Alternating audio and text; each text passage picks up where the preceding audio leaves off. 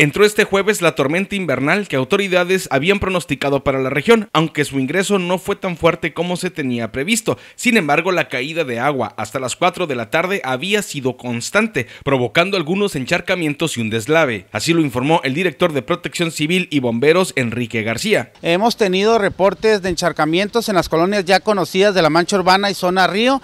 Eh, también se reporta un deslave sobre la zona autopista y colonia La Sierrita, involucrando un carril por completo personal se encuentra en el lugar, también una serie de encharcamientos y como una inundación en la calle Quinta de la colonia Juárez. Eh, ha respondido bomberos, hemos estado en coordinación con el Consejo Municipal de Protección Civil y asignando los incidentes a, las eh, áreas de competencia, ¿no? como obras públicas, céspedes que hemos tenido el total apoyo. Afortunadamente hemos tenido incidentes menores. Asimismo, para las 4 de la tarde del jueves, ningún refugio temporal había sido utilizado. El director de bomberos indicó que el operativo se mantiene desplegado pues las lluvias continuarán por al menos seis días más. Por ello, dijo, es fundamental que la población no se confíe. Esperado para el día de hoy, eh, seguimos esperando lo de mañana. Aquí la advertencia y el cuidado es a seis días de lluvia, porque tendremos día jueves, día viernes, descansamos y cesa un poco el día sábado y domingo, pero no con ello la capacidad de absorción del agua de la tierra. ¿no? Este, esto ya nos provoca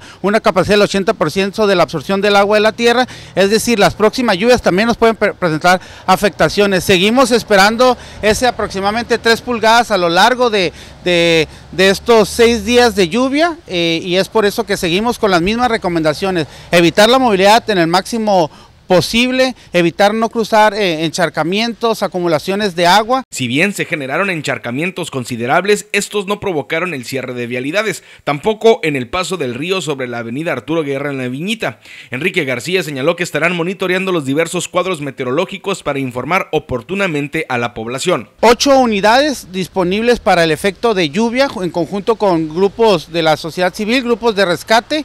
Eh, tenemos las, las cinco estaciones disponibles eh, las seis estaciones, cuatro en la mancha rural, eh, cuatro, dos en la zona urbana. El objetivo es que siguen en, sus funciones. Nosotros tenemos los incidentes de respuestas a incendios y además este operativo especial que viene a ayudarnos a la respuesta a incidentes hidrometeorológicas, ¿no? Como es el vehículo anfibio conocido como Oruga.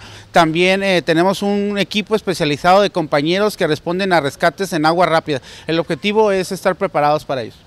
Para California Medios con información de Kenia Rodríguez, Roberto Estrada.